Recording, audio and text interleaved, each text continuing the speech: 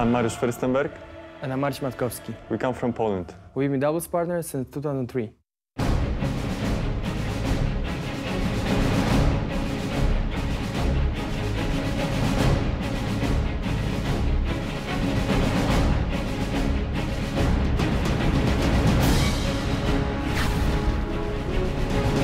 doubles games right now it's at the top because all you have all the singles player playing uh, you have a great Bryan Brass breaking all the records Nestor and uh, Zimonjic they are there too so uh, the doubles uh, game is uh, very well played right now and uh, you just need to keep fighting for a spot